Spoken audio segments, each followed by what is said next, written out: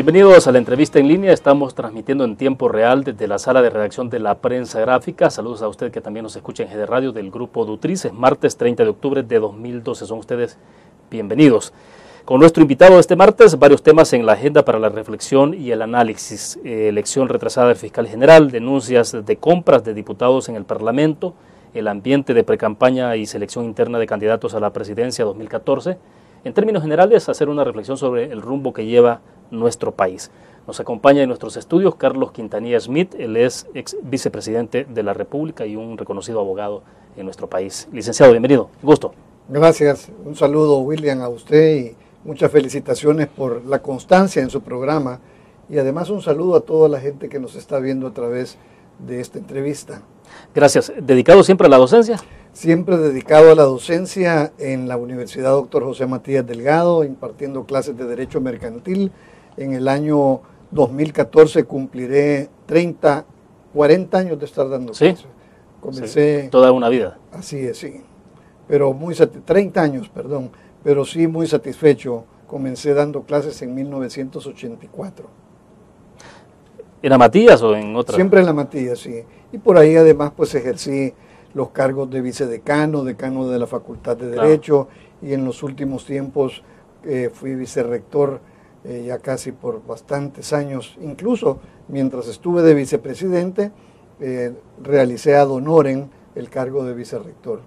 ¿Y siempre vinculado con la caficultura? igualmente siempre tratando de ver cómo nuestras tierras, en este caso del Cerro de Cacahuatique, desarrollan el potencial en la siembra del café.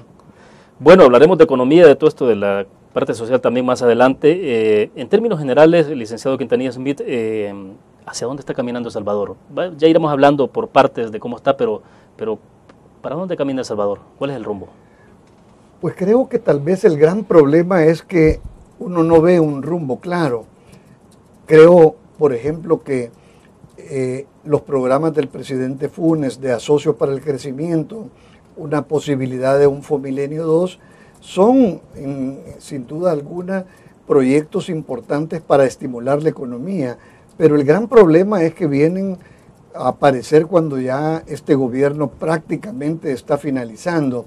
Y usted sabe que un proyecto de esta naturaleza necesita tiempo para madurar y para desarrollarse. Por lo tanto, yo en el gobierno del presidente Funes no veo ningún motor que pueda desarrollar el crecimiento en el año y tantos meses que faltan para terminar su gobierno. Y luego eh, vemos una campaña electoral anticipada, que de por sí las campañas electorales presidenciales prácticamente paralizan al país y creo que al haberse hecho de forma tan anticipada, tampoco abona al desarrollo económico de nuestra economía. Bueno, hablemos entonces precisamente del tema económico. Eh, esta semana que ha recién transcurrido, licenciado, conocimos un informe de la, de la CEPAL donde establece que en el primer semestre de este año eh, El Salvador tuvo una caída bastante estrepitosa en la inversión extranjera directa, el 60%. Estamos, eh, bueno, después nos sigue Nicaragua con el 40%, pero El Salvador ocupa eh, una posición bastante lamentable. ¿Qué, qué, significa esto? Bueno, creo que significa que, que no hemos sido capaces de mostrar a los inversionistas que aquí tenemos un país que está listo para recibir inversión extranjera. Usted se recordará que ah, yo prácticamente creamos la oficina de Proeza de promoción de inversión extranjera, eh, le dimos nacimiento y la hicimos crecer. Y precisamente eh, para poder invertir eh, en El Salvador, el inversionista necesitaba un ambiente de seguridad, no solamente seguridad pública, sino que seguridad jurídica, reglas claras, un ambiente propicio para la inversión, y eso no lo estamos viendo hoy en día, cuando vemos la incertidumbre que provoca eh, las, eh, a veces las decisiones o las declaraciones del presidente cuando está en franco deterioro en su relación con el sector privado, cuando vemos que hay un clima de seguridad eh, ciudadana muy elevado. Después de Honduras, somos el siguiente país con el mayor índice de delincuencia, cuando vemos que tampoco hay seguridad jurídica, obviamente son temas que preocupan a cualquier inversionista y obviamente prefieren invertir en cualquier otro país de la región. Licenciado, todo, todo esto que nos está planteando de incertidumbre en la parte política, en la parte jurídica, no es retórica, es decir, no es, eh, algunos sugieren, no, que es parte de la campaña de, asustar un poco con el petate del muerto, como decimos en El Salvador. Eh, se traduce todo esto en hechos concretos para un inversionista, para alguien que quiere desarrollar una empresa en este país. Totalmente. Y creo que lo más destacado en este ambiente de incertidumbre jurídica fue provocado precisamente por los políticos de la Asamblea, el propio presidente de la República y por supuesto eh, con el tema de la elección de los magistrados de la Corte Suprema de Justicia y ahora con este tema en que eh, estamos para elegir al fiscal general de la República. Obviamente, quien tiene, digamos, una, un poco conocimiento o algún conocimiento de las leyes en el país, se da cuenta que hubo una violación a la Constitución al no querer aceptar una sentencia de la Corte Suprema de Justicia. Y el inversionista que dice, si los políticos de este país, si el gobierno no quiere aceptar una resolución de Corte Suprema de Justicia, ¿qué voy a ir a hacer yo a El Salvador cuando voy a estar en un estado de incertidumbre que aunque pueda obtener un fallo favorable si alguien viola eh, mi actividad económica, me voy a encontrar sin poderla ejecutar porque es un país eh, donde la gente está acostumbrada a no respetar resoluciones de la Corte. Y también lo encontramos en incumplimiento de leyes. A veces yo he escuchado en muchas oportunidades decir, vamos a aprobar esta ley y si alguien cree que es inconstitucional, que vayan a la Corte Suprema de Justicia. Y no se trata de eso, se trata de crear leyes que den certeza y seguridad a la ciudadanía y por supuesto en este caso a los inversionistas. Bueno, vamos a nuestra primera pausa comercial. Cuando volvamos entonces el tema de elección de fiscales generales de la República, que no se tiene todavía, la continuidad eh, de, los, de lo que uno observa, por ejemplo, de algunas acciones que siguen en, en, desarrollo en la Asamblea Legislativa, cuando deciden no admitir algunas resoluciones de la eh, Sala de lo Constitucional, cuando se habla incluso de posibles reformas al tema de procedimientos de la Sala de lo Constitucional para cercenar eh, sus facultades, ¿hacia dónde nos lleva esto? Estamos hablando de lo mismo. Vamos a una pequeña pausa y volvemos.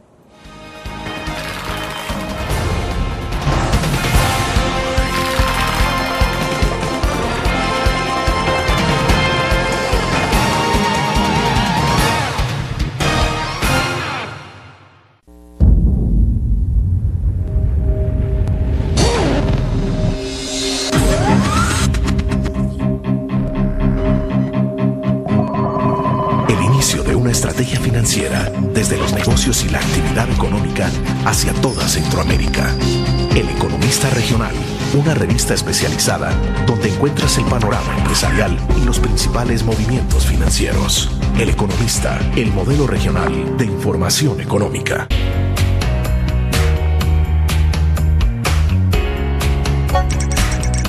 Cada momento, donde quiera que estés, te damos el mejor contenido en diferentes plataformas. Para que tú escojas el medio para informarte. Y ahora con Grupo Dutriza Live, la nueva aplicación digital. Vive la información como una nueva experiencia en tu periódico. Multiplicamos la forma de informarte. Grupo Dutriz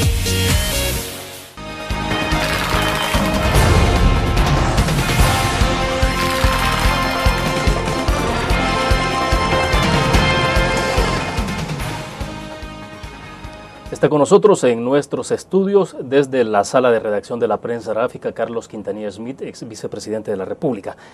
Licenciado Smith, eh, entonces, ¿cómo, ¿cómo se vincula todo esto de elección de fiscal general de la República, el hecho de que no tengamos fiscal todavía, que solo esté operando el adjunto? Eh, ¿Son señales que se siguen enviando entonces eh, y que le llegan a un inversionista. Totalmente hay una incertidumbre política y jurídica que aleja cualquier deseo de invertir en El Salvador, a pesar de que el propio presidente Funes ha sostenido lo contrario. Pero sí creo que son señales equivocadas. Es inconcebible que después de un mes todavía no haya fiscal general de la República. Y es inconcebible porque es el funcionario encargado de perseguir el delito. Es decir, la, él tiene el monopolio de la persecución y de la investigación. ¿Y cómo es posible entonces que frente a una realidad que es que nuestro país ocupe uno de los altos puestos de inseguridad ciudadana, no tengamos el responsable de establecer la estrategia a través de la Fiscalía. ¿No es cierto, licenciado, de que como se tiene un adjunto, la institución sigue operando normalmente? Sigue operando sin duda alguna con los procesos en marcha, la parte administrativa, pero el fiscal general, cuando sea electo, tiene que establecer su estrategia de persecución del delito, tiene que ponerse de acuerdo con el ministro de Seguridad, con eh, los tribunales. Creo que es un tema que demanda la unidad nacional de quienes tienen que ver con este tema. Y por supuesto, si esa pata de la mesa no está funcionando, obviamente todo está semi-paralizado. Y a propósito de la Fiscalía, eh, bueno, se ha enterado entonces que diputados de Ghana eh, han denunciado supuesta intervención telefónica, o más bien mala utilización del centro de escuchas telefónicas instalado, que lo dirige obviamente la, eh, la, Fiscalía General de la República, ha hecho una denuncia, pero escuchamos declaraciones también de la embajadora norteamericana de decir, bueno, cuando se aprobó el centro de escucha fue aprobación unánime, todos votaron y hay procedimientos establecidos, decía ella, y evidentemente los hay para eh, cuando pinchar un teléfono a una persona. Pero, pero ¿a qué vendrá toda esta, toda esta discusión de colocar otra, a la Fiscalía en el centro de una, de una discusión, de, sobre todo algo tan grave de que pueda ser el miedo que había en aquel momento, de que un centro de escucha se utilice para fines políticos? Creo que son acusaciones totalmente infundadas. Lamentablemente hemos llegado, William, a un estado en nuestro país en donde los diputados como que tienen licencia para decir cualquier cosa. Y si bien el cargo de diputado los hace eh, tener alguna ventaja de poder decir eh, las cuestiones en materia política, tampoco les da el derecho de tirar acusaciones sin ningún fundamento. Creo que cuando se haga un tipo de, este, de, de estas denuncias o de estas acusaciones, deberían de tener por lo menos un mínimo de certeza para que se investiguen. Pero veamos, eso lo que demuestra es la necesidad de que haya un fiscal general, porque imaginémonos que sean ciertas las denuncias que ellos han hecho, con mucha más razón entonces se necesita que esa cabeza que dirige a la fiscalía esté electa y por supuesto pueda comenzar un proceso de investigación. Otro caso, por ejemplo, es el tema de la compra de conciencias de diputados. ¿Cómo va vamos a tener la certeza que la Fiscalía comenzará un proceso de investigación si precisamente se está queriendo comprar conciencias, según las acusaciones que se han señalado en los medios, precisamente para elegir al fiscal. Imagínense qué grado de compromiso tendría el fiscal que llegara en esas condiciones. Y eso, sin duda alguna, no constituye ninguna garantía ni para el ciudadano común como nosotros, ni tampoco frente a un inversionista que nos está viendo desde el exterior. Bueno, llamó la atención el hecho de que la semana anterior eh, el partido Gana dijo que para el día lunes de la semana anterior iban a colocar una denuncia formal ante la Fiscalía, eh, eh, una acusación directa al partido Arena porque Arena los había vinculado con los sobornos, supuestos intentos de soborno. Sin embargo, después se suspendió esa decisión y una de las versiones que se manejó es que no lo iban a hacer hasta que se, mejor se eligiera el fiscal. Es decir, como que si eso dependiera eh, de, acuerdo a quién llega a la fiscalía, entonces a tomar una acción. Totalmente absurdo, creo que en este caso más parece ser una cortina de, humo para contrarrestar la acusación que se ha hecho. Eh, me parece Por el otro lado, que ya eh, Arena y los diputados que se han visto afectados y que lo han denunciado públicamente deberían de hacerlo formalmente ante los organismos de investigación porque sin duda alguna preocupa muchísimo el que ahora estemos presenciando una actitud de corromper las instituciones del país. A mí me preocupa lo que se ha señalado de parte de los diputados que manifiestan haber recibido invitación de ciertos elementos de gana para eh, ofrecerles a través del dinero que votaran a favor de alguna iniciativa en la Asamblea Legislativa. Claro, porque hay una pregunta inmediata y es, eh, porque de, dónde puede andar circulando tanto dinero si es que han habido ofrecimientos millonarios? Imagínense esas cantidades que, que realmente son cantidades inimaginables para la mayoría de los ciudadanos. El pensar en un millón de dólares o de dos millones de dólares son cantidades que probablemente nunca vamos a ver en la vida. ¿Y cómo es posible que de repente aparezcan por el voto que quieren que se dé en la Asamblea? Naturalmente que las fuentes de financiamiento para poder eh, tener esa capacidad económica son muy limitadas y obviamente ahí vienen ya las especulaciones de lo que del origen de esos fondos y creo que eso debe de preocupar a todo el país porque eso significa que aquí eh, las cosas se van a arreglar con dinero, con sobornos y creo que eso lo que nos va a llevar es a destruir esta democracia y esta sociedad que debe de construirse sobre la base de principios y valores. Perfecto, vamos a una pausa comercial, volvemos con más.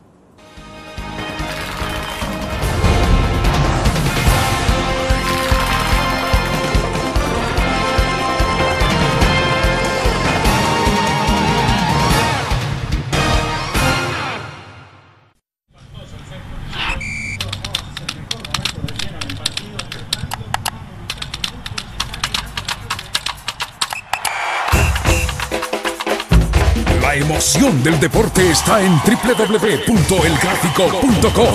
Ingresa al nuevo escenario deportivo y descubrí toda la pasión del deporte. Fotos, videos, fichas y resultados de las mejores ligas del mundo. Elgráfico.com. Conectados por deporte. Cada momento, donde quiera que estés te damos el mejor contenido en diferentes plataformas para que tú escojas el medio para informarte. Y ahora con Grupo Dutriza Live, la nueva aplicación digital.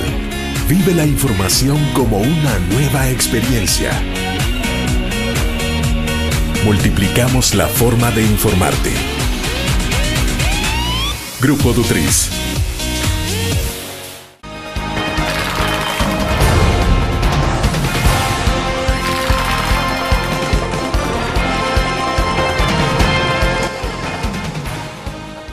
Licenciado, entonces su sugerencia es que, el Partido Arena haga la denuncia formal. Eh, porque ya lo que vimos, eh, por ejemplo, perdón, lo que vimos ya es que de oficio no hay ninguna investigación, o sea, eh, muchos sugieren de que la Fiscalía podría realizar esto de oficio o involucrar al Tribunal, Tribunal de Ética Gubernamental incluso. Bueno, creo que una denuncia pública de esta envergadura, cuando ya no solamente es una denuncia de un miembro de Arena, sino que varios diputados se manifiestan públicamente que ellos mismos han sido los que recibieron esos intentos de soborno y de compra de conciencia, me parece que eso nos debería de obligar a una investigación, incluso de oficio, de parte de la Fiscalía. La sociedad no puede quedarse paralizada frente a este tipo de acusaciones que, repito, pueden llevarnos a la destrucción de nuestra sociedad y de nuestra democracia. ¿Qué van a aprender los hijos nuestros cuando ven que todo se arregla comprando voluntades a través del dinero de origen desconocido? ¿Qué va a pensar eh, la sociedad cuando vean que a nivel político interesan más los eh, criterios de interés personal que los criterios de la nación. Creo que esto nos debería de hacer mucha reflexión y por supuesto preocupar para darle oportunidad a que las instituciones funcionen. Ahora, si las instituciones no funcionan, lo que podemos pensar es si no ha llegado ese nivel también de corruptibilidad a las instituciones que nos corresponden. Pero ¿no será que en el fondo lo que hay también es una intencionalidad de destruir la institucionalidad en el país? Ah, claro. Eh, yo siempre he sostenido que el grave daño que nuestro país ha tenido, y no solo en los últimos años, sino que en los últimos ocho años, ha sido que se corrompieron las instituciones a través de eh, conflictos eh, de, poder, a través de compra de voluntades, a través de intereses eh, políticos. Creo que los que hemos venido tratando de, defender la institucionalidad, de, que la institucionalidad se fortalezca, y la prueba de ello son los estudios que en FUSADES hemos venido realizando desde hace muchos años, vemos cómo esa escalera de la inconstitucionalidad, de de la institucionalidad se está desmoronando y está llegando ese cáncer del soborno, eh, ese cáncer del interés político y del interés que genera el poder a, destruir lo poco que teníamos y ese andamiaje que por cierto estaba en proceso de construcción de nuestras instituciones que se vinieron construyendo después de la firma de los acuerdos de paz. Licenciado, hasta hoy nadie ha investigado, por ejemplo, como se habla de tanto dinero circulando alrededor de todo este tema de compra de, votos, de la conciencia de los mismos diputados, pero nadie ha investigado, cuando usted decía en algún momento el, tema de origen de los fondos, o sea, nadie sabe de dónde viene, de dónde puede haber tanto dinero. O sea, el, narcotráfico puede estar ahí. Claro. Bueno, yo, creo que eh, también, yo a veces me pongo a reflexionar por qué no se investiga o por qué no la investigación arroja resultados positivos. Yo creo que en este país todos nos conocemos. En este país eh, tan pequeño, creo que es muy fácil investigar. Desde el momento en que una persona acostumbrada a un nivel de vida cambia su nivel de vida, cambia sus ingresos, cambia el ambiente que le rodea, eso lo hace sin duda alguno eh, sospechoso de que algo indebido está haciendo. O sea, cambios, cambios inmediatos o bruscos, porque, porque, el ser humano tiene la posibilidad o el derecho de ir escalando, de ir eh, creciendo en todos los sentidos. ¿no? Pero tiene que haber una explicación. Si yo instalo una empresa y me va bien, al cabo de tres años la empresa eh, es una mina de oro, pues tengo la explicación para justificar por qué razón ahora tengo más ingresos que antes. Pero si de repente vivimos con un salario, pero tenemos eh, bienes materiales que superan los ingresos que un salario puede generar, sin duda alguna hay gato encerrado. Y creo que esto no solamente para el origen de los fondos, para ver si está vinculado con algún delito, debería de investigarse, pero también para efectos fiscales, porque si esa persona está teniendo ingresos extraordinarios, pues si son legítimos debería de declararlos. Bueno, y hay, formas, y hay formas, porque vaya, una declaración de, de renta anualmente uno ingresa, lo hace de forma electrónica y, le aparece automáticamente la propuesta del Ministerio de Hacienda de, pago de impuestos, de pago de la renta. Y si usted quiere, modifica esa propuesta en función de que pueda haber algo ahí. O sea, Hacienda tiene toda la información. En el caso de los empleados, como nosotros digamos, es mucho más fácil. Pero ¿cómo no lo podrán hacer si tienen toda la información en Hacienda? Es más, la tienen y yo recuerdo que ese fue el propósito de las reformas fiscales que hace algún par de años desarrolló el gobierno del presidente Funes a través del ministro de Hacienda Carlos Cáceres. La idea era precisamente obligar eh, a las personas que podían recibir dineros del exterior que lo declararan, eh, porque su nivel de vida no iba acorde con los ingresos nacionales. Pues de la misma forma, también se puede investigar ahora los ingresos nacionales de esa persona que tiene eh, obviamente compras mensuales de bienes materiales que exceden de los ingresos que declara. Esto debería de ser suficiente para pensar que hay una evasión intencional eh, de los ingresos al Ministerio de Hacienda y más si de repente se determina que efectivamente los ingresos existen, mm. pero que vienen de origen indebido, que puede ser narcotráfico, puede ser corrupción, eh, puede ser eh, lavado de dinero, cualquier tipo de ingresos de dineros ilícitos que deberían de ser investigados por la Fiscalía, por Ministerio de Hacienda y por todos los organismos que directa o indirectamente tienen que ver con este tema. Vaya, pero entonces Hacienda podría hacer una investigación que no necesariamente eso pueda vincular de inmediato con un delito o lo penal, pero puede hacer una investigación y, al haber, y al haber, indicios lo pasa directamente a la Fiscalía. O sea, sin duda alguna. Pero no hemos visto tampoco que ocurra... No hemos visto nada, sino que por el contrario son las mismas empresas eh, que generan actividad económica las que a veces tal vez se han sentido eh, bastante eh, cuestionadas por eh, las autoridades fiscales del Ministerio de Hacienda cuando son entidades que llevan su contabilidad formal y que sin duda son grandes contribuyentes del país. Bueno, hacemos otra pequeña pausa, volvemos.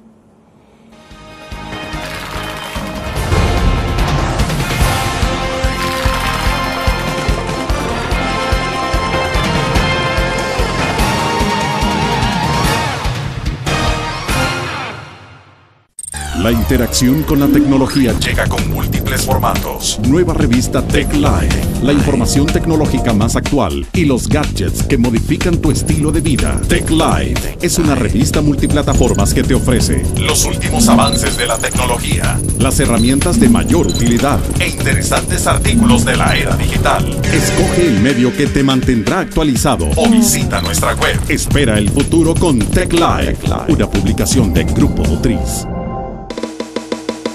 Tu periódico es dinero, porque ahora puedes pagar con la prensa gráfica. Busca y recorta en tu periódico el dinero que podrás canjear en los establecimientos de nuestros aliados. Encontrarás uno cada día. Compra con la prensa gráfica y encuentra una buena noticia para tu bolsillo. Con la prensa gráfica lo compras, compras. Con la prensa gráfica lo pagas, pagas.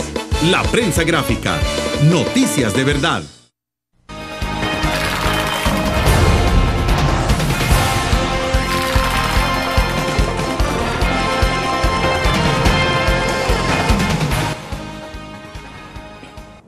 Bueno, solo quiero cerrar eh, la conversación que traíamos, licenciado, en torno a, los dineros que se pueden estar moviendo de forma ilícita alrededor de estas situaciones, la compra de la supuesta compra de diputados, pero que recuerdo que el presidente de la República hizo más o menos una especie de denuncia a nivel internacional, incluso donde dijo de que eh, tenía el temor de la infiltración del crimen organizado eh, a nivel del Estado.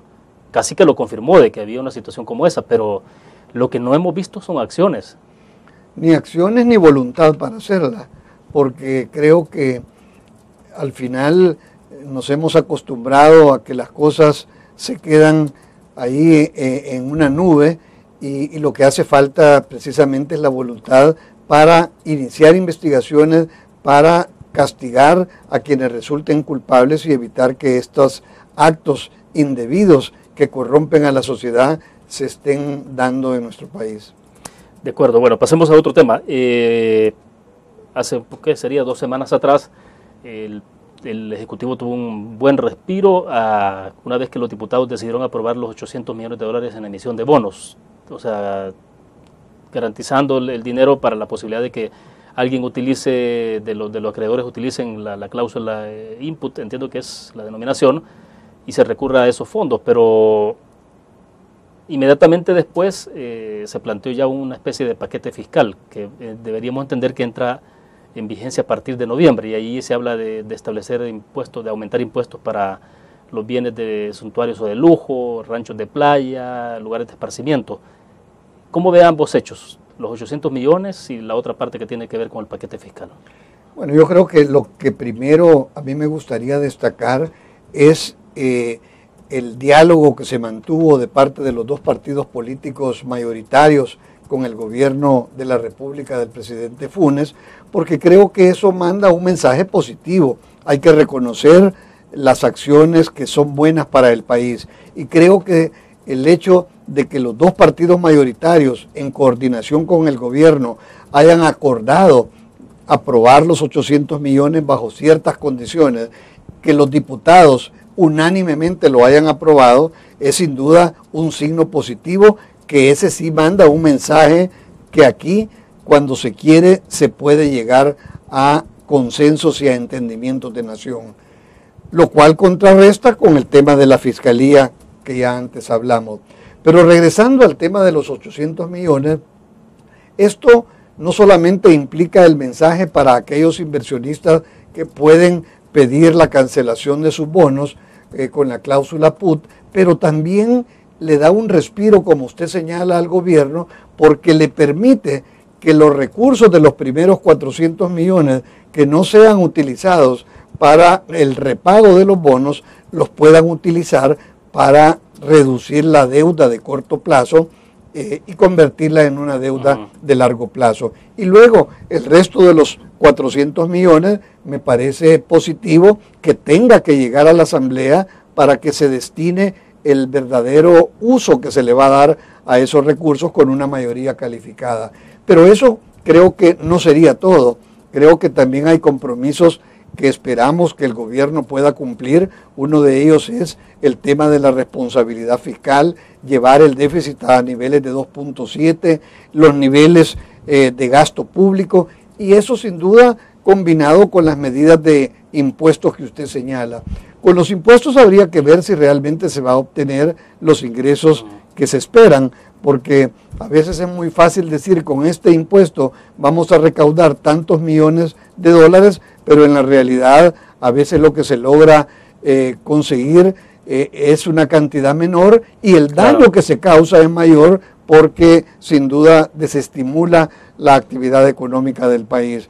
Eh, esto también está amarrado con cierta disminución de los gastos del gobierno, de la disminución de los subsidios, que es un tema que el mismo fondo ha venido señalando y exigiéndole al gobierno. Así que ojalá que así como se aprobaron los 800 millones eh, unánimemente, también de parte del gobierno de la República, exista esa voluntad de cumplir con esos compromisos.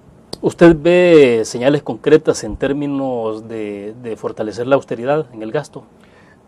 Creo que es un tema absolutamente necesario. Lo que pasa es que no ha habido voluntad para hacerlo, porque cuántos, cuánto tiempo, por no decir años, se viene diciendo que el gobierno ha sido exitoso en aumentar la recaudación, pero que la recaudación nueva no ha sido capaz de poder sufragar el exceso de gastos que se han venido generando.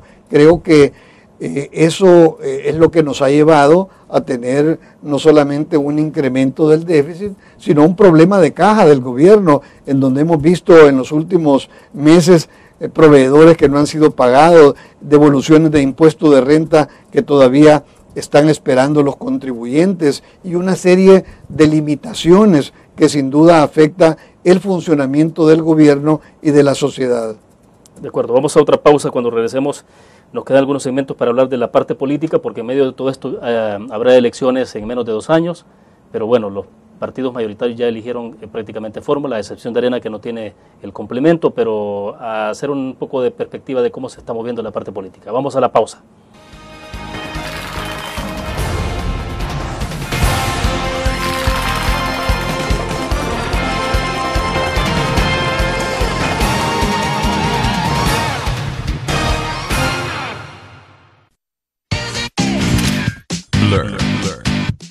La revista más innovadora y moderna de todos los tiempos. Única en su estilo, creativa, un espacio exclusivo y reservado de entretenimiento y diversión, llevada al máximo. Blur. Time Out, Movie, lo mejor de la cartelera. Art. Shopping, la guía de la moda. Go, viajes cortos fuera de la ciudad. Blur. Blur. Un graficionado no olvida la historia, y aunque perdió una y otra vez, no perdió el orgullo. El graficionado se levantó entonando su grito de batalla, respirando gritos de gol y celebrando las épicas victorias. Un graficionado cree en la magia de la camiseta y mantiene viva la ola de fe, porque el graficionado sueña con volver a un mundial. El gráfico lo hacemos por deporte.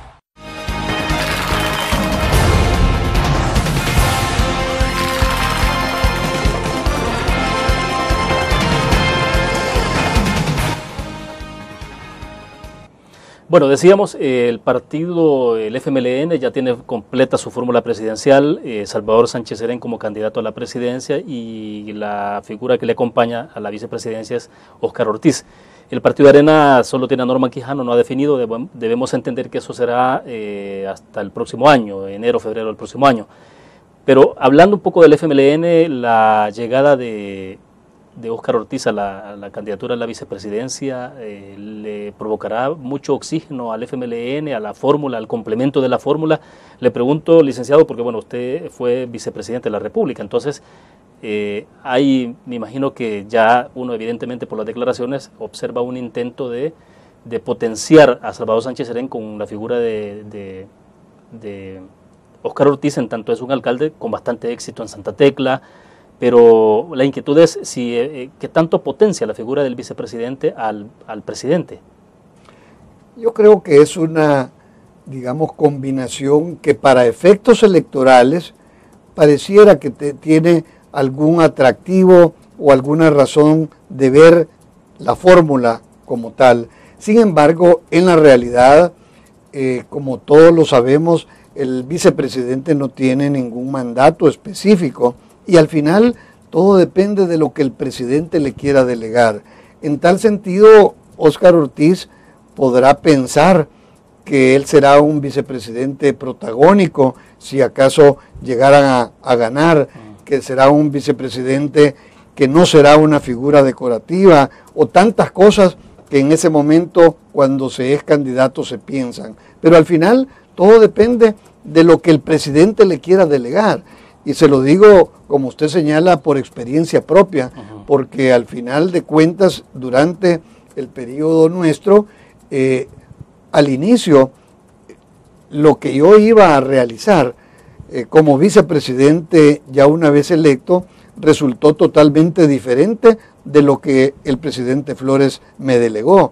Y obviamente eso eh, me hizo profundizar en el tema de la promoción de inversión extranjera y de los salvadoreños en el exterior, temas eh, que son y fueron importantes y que me sentí muy satisfecho de realizar, pero repito, eh, esto fue una variante del pacto original que al inicio habíamos tenido. Y lo mismo podemos ver a lo largo de, los, de las parejas eh, presidenciales de los últimos años. Y por ello podrá tener buenas intenciones Óscar Ortiz de pensar que será muy activo, pero repito, todo dependerá de, quien resulte ser su presidente, obviamente bajo el entendido que ellos llegaran a ganar eh, la elección del 2014.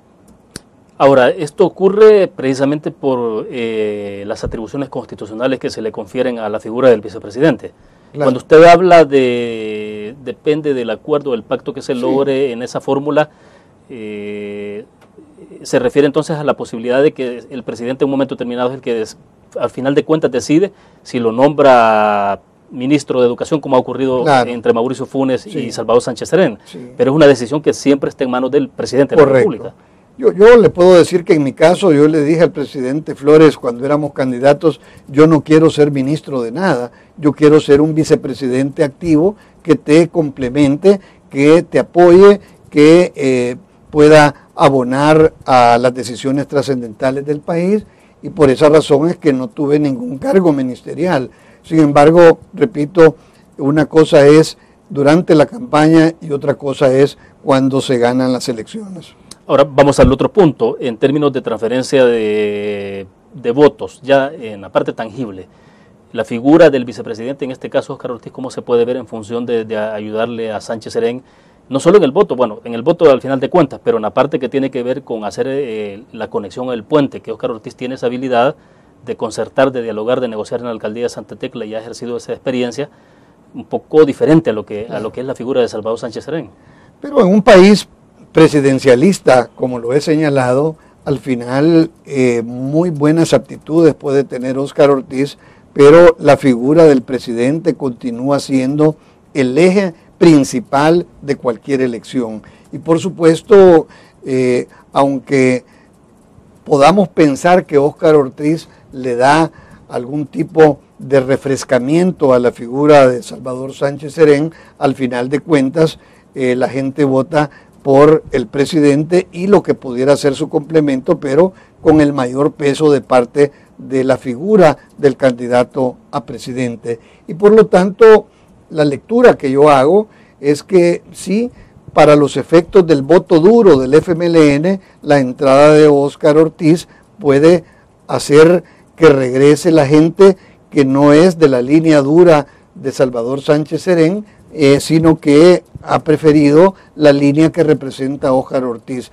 Pero frente a los indecisos, obviamente se trata de una pareja del FMLN eh, que naturalmente no tiene ningún componente exterior que pueda motivar a los indecisos eh, el poder considerar esa una fórmula atractiva para las elecciones. Esto es eh, la opinión que personalmente creo puedo expresar. De acuerdo, vamos a otra pausa comercial, volvemos.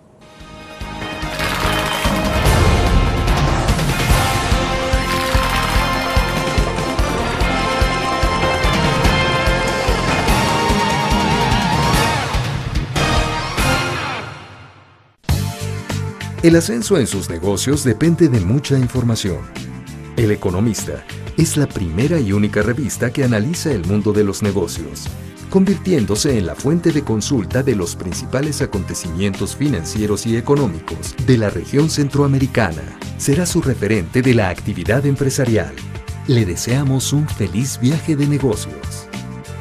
El Economista, el modelo regional de información económica.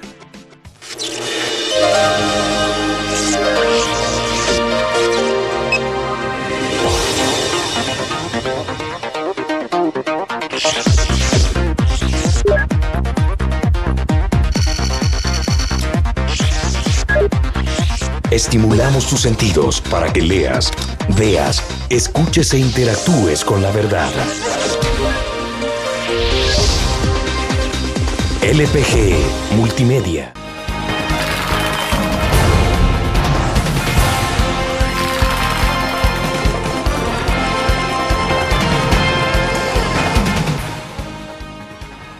¿Cómo cree que se plantee eh, el Partido Arena entonces para, eh, me refiero a la fórmula presidencial, porque me imagino yo que en este caso, bueno, ya definió el FMLN su, su fórmula presidencial, pues algún margen puede haber del otro lado, eh, obviamente por eh, la figura de Oscar Ortiz, me imagino que se estará evaluando del otro lado, pero ¿cuál puede ser el complemento de Norman Quijano ante una fórmula como la que está planteada ya? Es decir, se va a inclinar por una mujer, por un hombre joven, por alguien de fuera de, del partido para hacer esos enlaces con otros sectores en los que, no sea alimentar el voto duro. Es decir, ¿tiene ventaja el Partido Arena en ese sentido o cómo lo observa? En primer lugar, creo que es un grave error, y lo reitero nuevamente, el haber comenzado una campaña con tanto tiempo de anticipación. Y en el escenario actual me parece que el que está más vulnerable es Norman Quijano frente a Salvador Sánchez Serén porque Norman Quijano todavía es alcalde de la principal y más importante ciudad del país y por supuesto esto lo hace estar eh, en una vitrina con los actos positivos y los actos negativos que puede tener. Y por supuesto eh, esto significa que si bien puede realizar actos que lo hagan de la simpatía de la población, como lo hizo ganar eh, en las últimas elecciones, también puede tener un costo porque el, ejercicio del poder desgasta. Y por supuesto siendo él alcalde eh, en pleno ejercicio puede tener un desgaste que le afecte en el desarrollo de su campaña electoral. Bueno, Lo el cual no sucede así en Salvador Sánchez Serén porque al haber dejado de ser ministro de Educación, ha dejado un cargo, digamos, administrativo y como vicepresidente pues no tiene más que el nombramiento que le dieron los electores en las elecciones que lo eligieron como tal. Por lo tanto, el desgaste que puede tener realmente es mínimo comparado con el que sí puede tener el alcalde Quijano. O sea, Quijano está en una desventaja en este momento. Así me, así me parece. Ahora, en relación a la- al, al candidato a vicepresidente, yo creo que eh, debería de, buscar una alternativa que le dé potencial, las potencialidades eh, que, obviamente pudiera eh, desarrollar. Y creo que eh, quien resulte el compañero o compañera de fórmula debería de tener algún perfil en el área económica y poder hacerse cargo del tema del manejo económico del país, porque probablemente esa sea una, eh, un- buen complemento para Norman Quijano, tomando en cuenta que su mayor habilidad es el tema de la actividad política por todos los años que él se mantuvo en la Asamblea Legislativa. Y frente a su experiencia política, creo que debería de necesitarse una experiencia en el área económica para que realmente podamos comenzar a levantar nuestra economía. Bien, vamos a la última pausa comercial y regresamos al cierre de la entrevista en línea.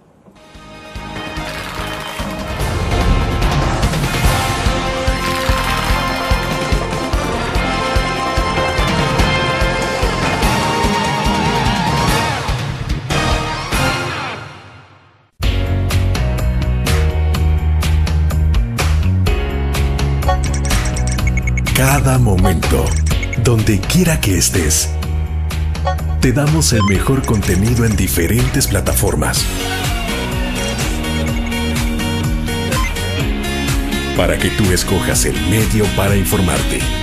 Y ahora con Grupo Dutriza Live, la nueva aplicación digital. Vive la información como una nueva experiencia en tu periódico. Multiplicamos la forma de informarte. Grupo Dutriz.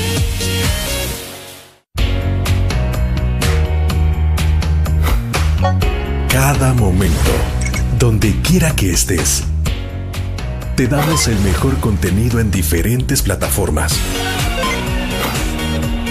Para que tú escojas el medio para informarte. Y ahora con Grupo Dutriza Live, la nueva aplicación digital. Vive la información como una nueva experiencia. Multiplicamos la forma de informarte. Grupo Dutriz.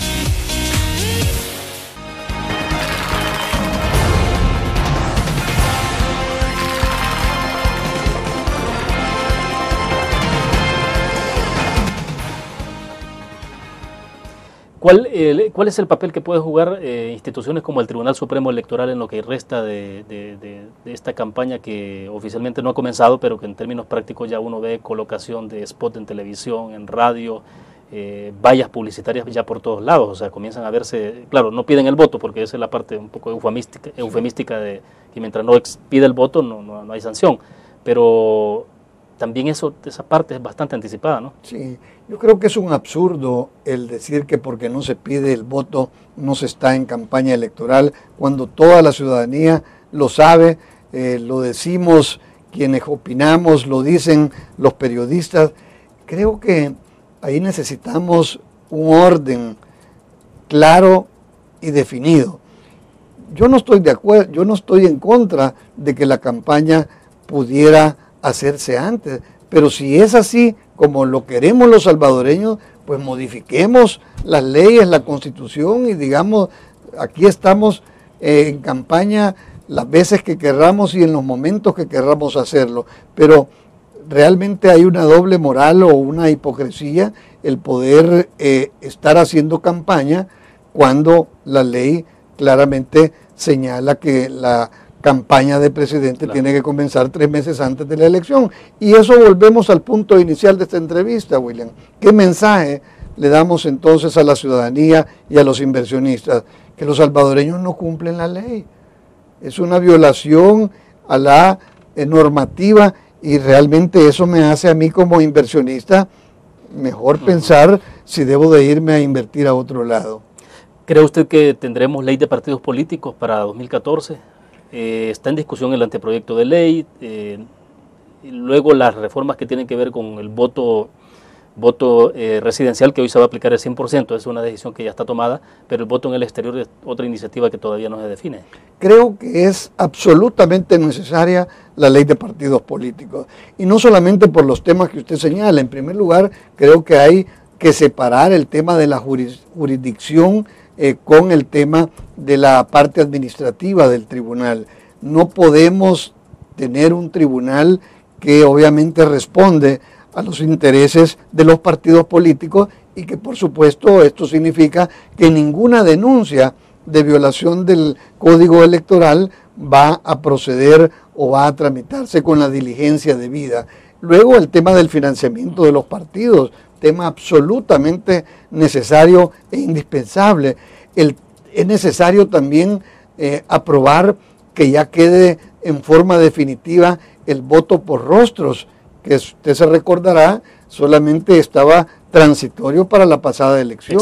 Creo que los salvadoreños eh, nos, eh, nos, nos, vamos a, a, a, decantar por ese tipo de votación en donde se establece el vínculo entre el elegido y el elector. Que estamos hablando de voto eh, con rostro, pero para las elecciones de 2015, ¿no? Pero, pero, son parte, pero son parte de esas reformas electorales. Y lamentablemente, eh, William, yo no veo voluntad en los partidos políticos y en la Asamblea Legislativa para mover una ley de partidos políticos.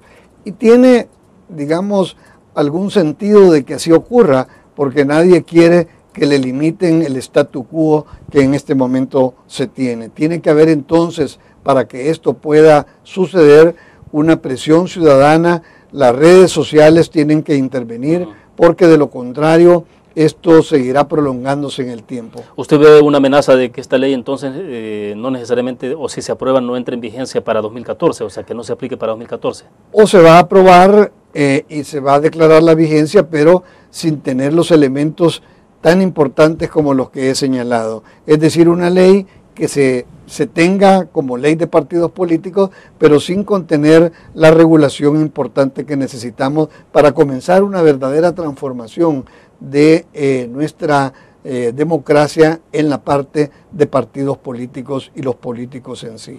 Ahora, difícil porque todo esto pasará por la Asamblea Legislativa, pasará por los mismos protagonistas, por los autores, eh, o sea, por, ellos mismos tienen que autorregularse.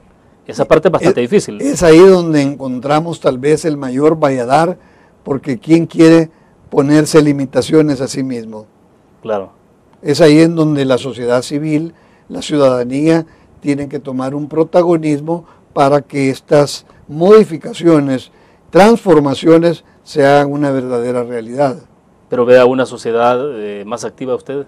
Sin duda. Creo que eh, la prueba es que estos grupos que se formaron en el tema de la elección de los magistrados de la Corte Suprema de Justicia, eh, creo que nos demostró que hay eh, ciertos grupos que son capaces de unirse, de expresar sus pensamientos y de exigir a los gobernantes y a los políticos algún tipo de conductas.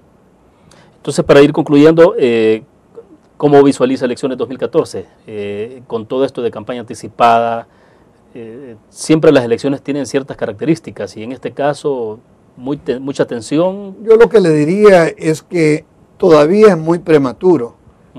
es, esto eh, pueden haber muchas sorpresas. Vaya, pero perdón, pero vaya, eh, cuando fue la elección de 2000, 2009, la tensión era la derecha va a tener la suficiente capacidad de reconocer una derrota y transferirle el poder al FMLN, a Mauricio Funes eh, el de, ahora, ahora hay quienes se plantean, bueno, el FMLN y Mauricio Funes tendrán la suficiente capacidad para aceptar, por ejemplo, una posible derrota eh, electoralmente hablando y en ese sentido devolver el poder a la derecha.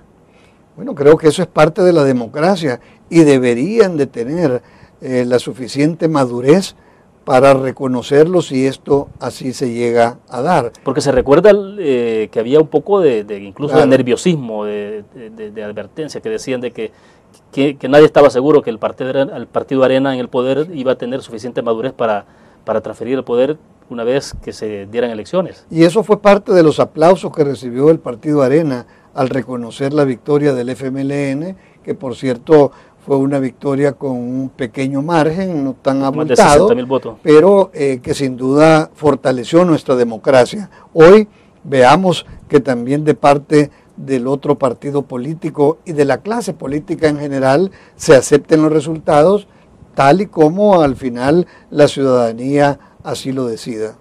Bueno, perfecto. Le agradecemos, licenciado. Muy gentil por su tiempo. Muchísimas gracias, William. Y, y, nuevamente felicidades por su programa y un saludo a todos los televidentes que nos han visto durante esta última hora. Perfecto. Gracias a ustedes nuevamente y a nuestros cibernautas y televidentes que nos acompañan a través de la prensa y nos han escuchado en GD Radio del grupo Dutris. Que descansen.